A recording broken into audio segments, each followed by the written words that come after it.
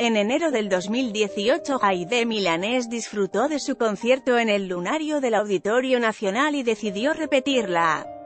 experiencia. Para ello, aprovechará para presentar su nuevo álbum doble versión Amor Deluxe, Aide Milanés a dúo con Pablo Milanés. con el que la cantante homenajea a su padre el gran cantautor cubano y en donde se pueden escuchar grandes temas de su autoría. La cita será el próximo 30 de mayo en el lunario del Auditorio Nacional, en donde Estará acompañada de grandes amigos, entre los que destacan Rosalía León, Francisco Céspedes y Lila Downs, quienes también participan en el disco homenaje. Este nuevo material discográfico, es el resultado del exitoso disco que a principios del año 2017, lanzó. Aide interpretando algunos éxitos a dúo con su padre, por lo que al ver la excelente respuesta de la gente, la cantante decidió realizar la edición deluxe del disco Amor, pero con una nueva selección de canciones e invitados especiales.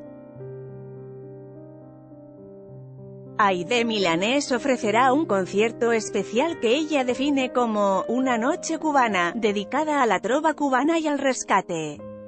musical del legado que su padre ha construido a lo largo de los años, Aide aseguró que la isla de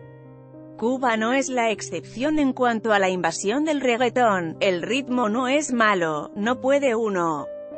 pelearse con la música, pero sí ofende en las letras, eso es un problema de los autores que han vulgarizado la música, expresó, sobre los duetos que el público podrá disfrutar a través del material grabado reveló que se tratan canciones interpretadas junto a Fito Páez, Julieta Venegas, Tania Libertad, Francisco Céspedes, Omar Aportuondo, Lila Doms y Rosalía León, Silvia Pérez Cruz. Joaquín Sabina, todos incluidos en el CD Si ella me faltara alguna vez es el primer sencillo de esta edición Amor. Deluxe junto a Julieta Venegas donde destaca el característico acordeón heredera de una gran tradición musical y una gran influencia del son y la trova tradicional cubana, Aide adereza su voz con la de otros colegas que participan en este disco y que logran traer a esta época grandes temas compuestas entre los años 60 y los 80 y en donde algunos prácticamente desconocidos ahora son rescatados por Aide. La artista reconoce que México siempre ha sido un gran anfitrión